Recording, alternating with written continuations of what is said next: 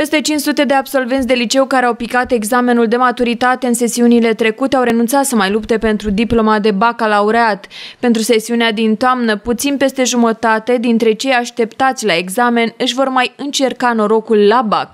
Pentru sesiunea de toamnă avem uh, un număr de 849 de candidați.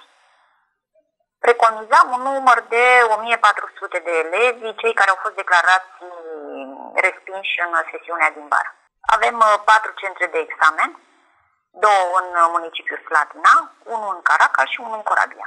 Centrele de evaluare sunt stabilite la liceele PS Aurelian și Alexe Marin. Pentru elevii din zona Caracal, centrul va fi Ionița Asan, iar la Corabia, centrul va fi la liceul Danubius.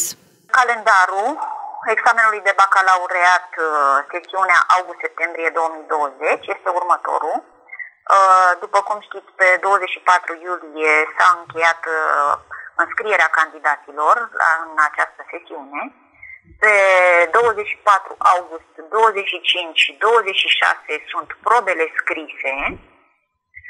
Pe 28, 31 august și 1 septembrie echivalarea și recunoașterea competențelor lingvistice și digitale. Pe 2 septembrie vom avea primele rezultate, se afișează primele rezultate la probele scrise, urmând ca rezultatele finale să le avem pe data de 5 septembrie. Anul acesta, în prima sesiune a bacalaureatului, în OLT a fost înregistrată promovabilitate de 66,62%,